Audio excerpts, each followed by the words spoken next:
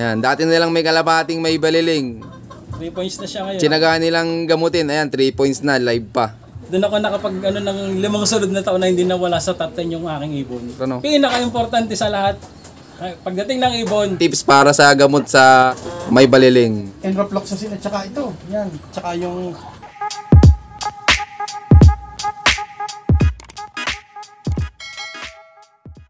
Ayan sir, matanong ko lang kasi baka may viewers tayo na mag-partner din.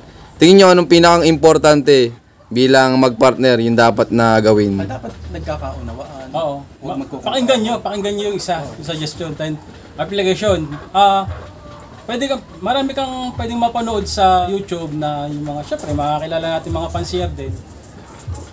Kung ano yung sinasabi nila, pwede mo i-apply. Then, i-apply mo, kung ano yung maganda sa ibon mo, kunin mo. Kung ano yung hindi maganda, alisin mo. Tapos, hanap ka uli na bago. Pero ang pinaka sa sa akin kasi, ang pinaka the best teacher is yung sarili mo. Ayun. Kasi ikaw yung didiscover nung kung ano yung magandang system na i-apply mo sa ibon mo. Kasi ikaw ang maglilipad nun eh, hindi naman sila.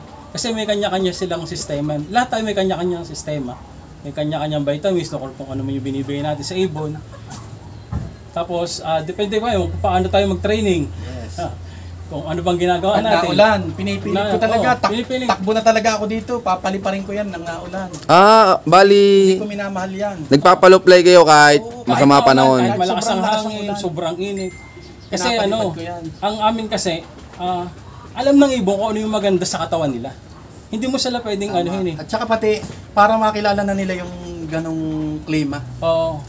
Kasi talagang ma- ah, mapagdadaanan at mapagdadaanan kasi nila yun. Ayun. Halimbawa, si ibon mo, makikita mo, pag nilalpasan mo, nagbibilad pa sa init. Ang tanong, bakit sila nagbibilad sa init? Kasi kailangan nila yon. Halimbawa, gusto nila magbilad, pero pinaliguan mo, di ano ang tendency ng ibon? Magkakasakit, di ba? Kasi hindi nila kailangan maligo, yan, kailangan nila magpainit. Kung baga gano'n, kung ano yung kailangan ng ibon, hayaan mo sila.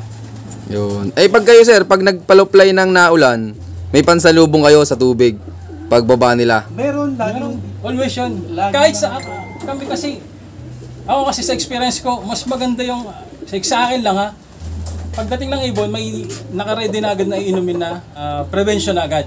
basta tip lang. Oh. Compare sa, kumbaga parang tao din, pag naiinom na, o, nain, pag na, ano, napapagod, nainom. Madidiscover niya yan. Kung hindi rin naman natin, syempre, ibon niya, lumilipad. Nababa nga sa ano eh, sa, ta- hindi natin kung saan, Palayan. tayo, Mm. palayan, nainom. Yung iniinom nila, mas madumi sa iniinom natin eh, pero nakaka-survive sila.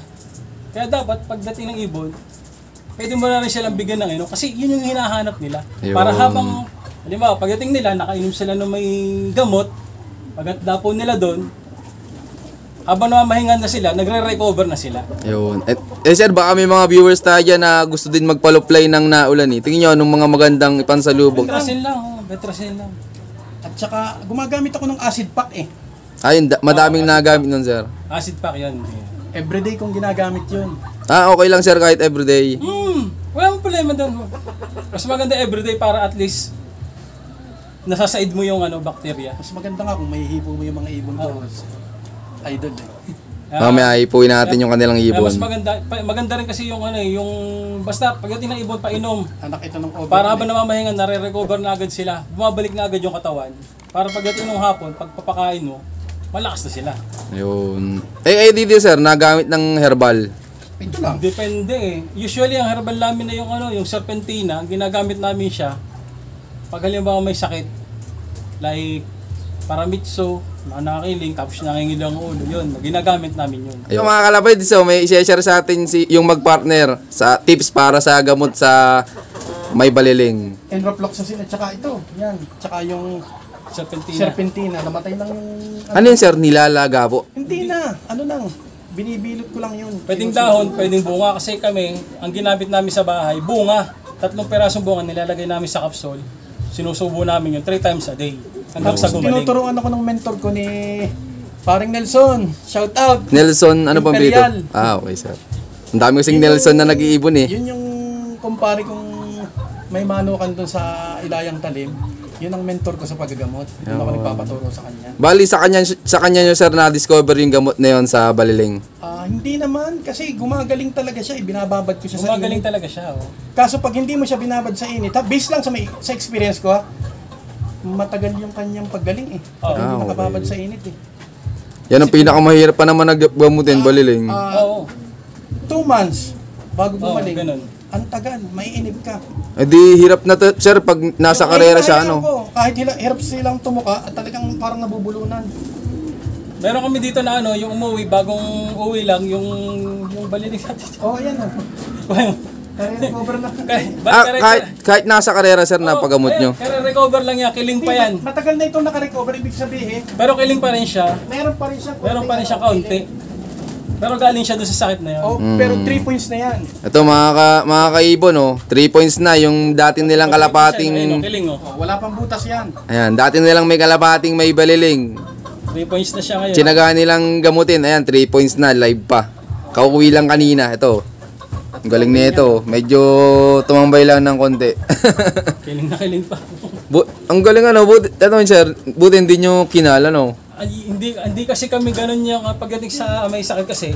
Kung may sakit at talagang hindi na kayang gamutin, pabayaan mo na lang na mamatay. Nagkakala ko pag- Nakakaawa din kasi. Yung payat na payat na, tsaka talagang wala ng pag-asa, saka ako kinakan. Pero Pwede naman yun. Kasi na, na, parang para sa akin ano, May buhay din kasi yan eh. pag nagtapo ka ng ibig sabihin pag nagtatapo ka ng pagkain, nabubusong ka. Ganon din sa hayop. Pag, pag kinakal mo, parang mabubusong ka rin. Nakakaawa rin kasi may buhay, binuhay mo sila. Kaya mo na lang na bumigay sila. Kaysa naman sa ganun na ikal mo sila, pabayaan mo na lang. Ayun, salamat sir. Ayun, sa may mga kalapati dyan na may baliling, huwag nyo munang ikal. May pag-asa pa May pala. pag-asa pa. Oo, Baka mamaya, yung kalapating yun pa yung magbigay sa inyo ng karangalan eh. Totoo yan. oh, totoo yun. Eh sir, ano po palang maibibigay nyong payo sa mga viewers natin dyan na hindi pa nakakatikim ng panalo? Ah, sa akin kasi, ah, tsaga lang, at sipag, tapos, kumuha ka ng ano ng sarili mong diskarte sa ibon. Ah, kuha ka ng mentor na magtuturo sa iyo kung ano yung dapat mong gawin. Bloodline, yung tamang bloodline. Tapos ah tawag doon ah, kung paano mo i-motivate ang ibon. Yun, isa yun. Number one yun, lalo na pagkarera. Kailangan mo yung motivation ng ibon. Kasi doon ako doon ako naka doon ako nakapag ano ng limang sunod na taon na hindi nawala sa top 10 yung aking ibon. Dahil, Dahil- sa motivation. Ayun, napaka-importante Tapos, sir ano. Pinaka-importante sa lahat, pagdating ng ibon, mag-flashing na agad kayo. Uma, pagdating, painom ng may ng may gamot na pang flashing, pagdating na hapon, flashing, kinabukasan ng umaga, flashing uli. The best ang ano, para ano para yung recovery ng ibon mabilis. At the same time, pagdating ng loading, malakas na siya, may ten, may may laban siya para makauwi. Tsaka discover din kayo ng ano, basta ang akin lang, ang pinaka the best teacher ay sarili mo. Yan lang yung aking may advice. Kasi Yan. doon ako nagsimula, nag-umpisa ako sa wala, tanong lang, tapos makasisa ako, ah, mas magaling pala ito. Hindi na yung ginagamit, ginamit ko hanggang sa yun, makasisa ako.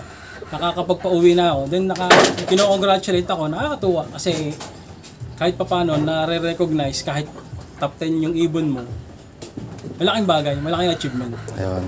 Siya na naman. Ito, si yung partner niya may sasabihin din.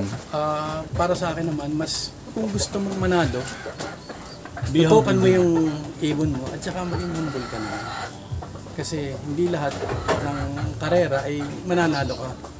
Kasi ang unang-unang kalaban mo dyan, sarili mo. Kasi pag hindi mo sinipagan at hindi mo binigyan ng time at tinutukan yung ibon mo, ay wala talagang mangyayari. Pero huwag kayong susuko. Kayang-kaya niya yan. Tsaka pasalamatan din nila kung kanino, Oo. kung sino yung mga nagturo, nagbigay ng ibon, Tsaka ganyan. yung number one talaga the best, linyada. Oo.